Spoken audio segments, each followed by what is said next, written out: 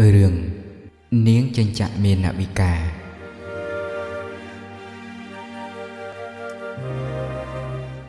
ព្រះបរមសាស្តាទ្រង់ប្រពនៃនាងចិញ្ចៈមាននវិកានាងចិញ្ចៈមាននវិកានេះបានចូលដៃ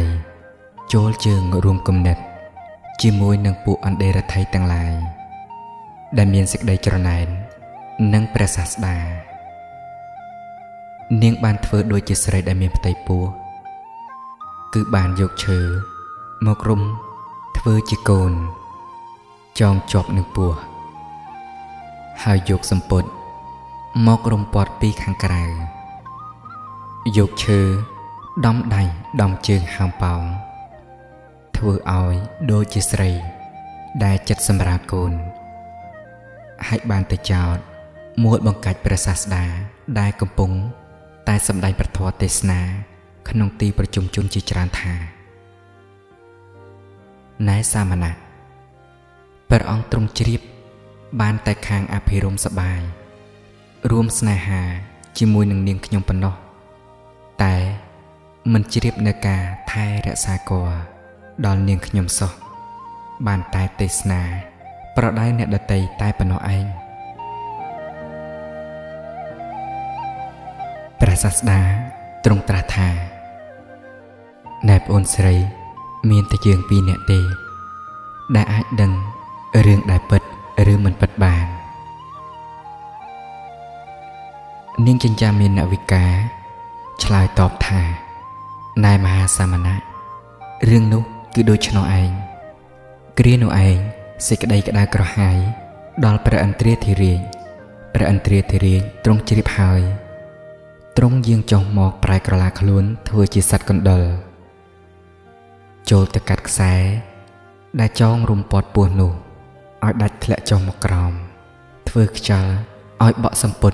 រត់សัตว์ប៉ាងឡើងលើ ពួកមហាជន បានដឹងរឿងពិតដូច្នេះហើយ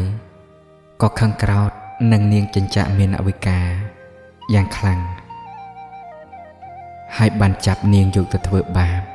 ជាស្ដីដោយប្រការផ្សេងផ្សេងហើយបានបណ្ដេញឲ្យនាងចេញអំពីទីនោះទៅ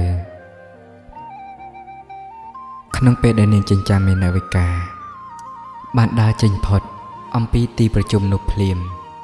ប្រតពីក៏បានសរុបយកនាងទៅក្នុងអវិជ័យនរៈឥតបងអង្គឡើយភិក្ខុទាំងឡាយបានសន្ទនាគ្នាអំពីរឿងនាងចិញ្ចាមេនវិកា ព្រះសាស្តាទ្រង់យាងមកក្នុងទីប្រជុំនោះ ហើយត្រាស់នៅប្រគាថានេះថា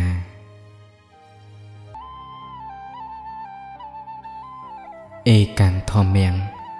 អតីតសៈមុសាវានទេសៈចន្តនោវិតនៈបរលោកសៈណដ្ឋិបាបាំង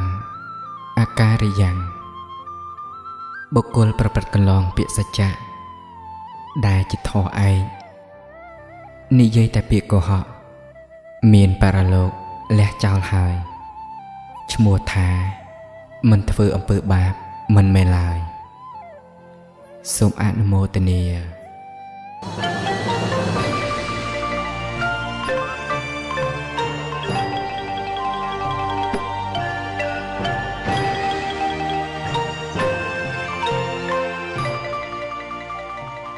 ធម្មទានដោយវត្តប្រាសាទស្រះកណ្ដាលខ្ចាស់ខេត្តបន្ទាយមានជ័យ